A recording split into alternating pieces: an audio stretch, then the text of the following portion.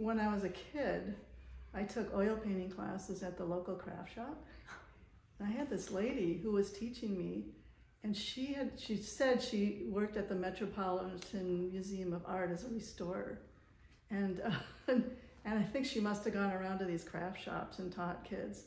And she would have these little uh, we, we we would copy things off off of these little cards that she had basically of paintings, and that's when I started. I was probably twelve, um, and then I, I actually in high school took some art classes just tried to get outside, I tried to talk the teacher into letting me outside so I could do some paintings. And then in college, um, I, I didn't really do art until like um, the end, uh, I mean, after four years of college. And then I, I, I just started taking a lot of art classes and painting classes. So I just kept going. So again, in college, I, I had a wonderful teacher, David Feinberg, and uh, he brought all these books to class.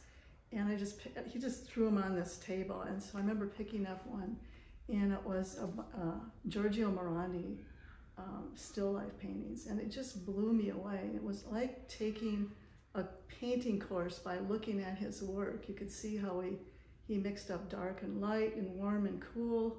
Uh, so that that really, and then I started doing these big squares and we're gonna like um, still life paintings for me. And um, another big influence was, which is everybody's influence, I think, is Cezanne. And he, you know, he's, the paintings are kind of, he's, um, he's sort of breaking up the paintings into particles almost. Um, and then most in the 90s, in the 90s, I was in the Whitney Museum and I saw a uh, Joan Mitchell show. And that just, again, I just, I, I couldn't believe how beautiful they were.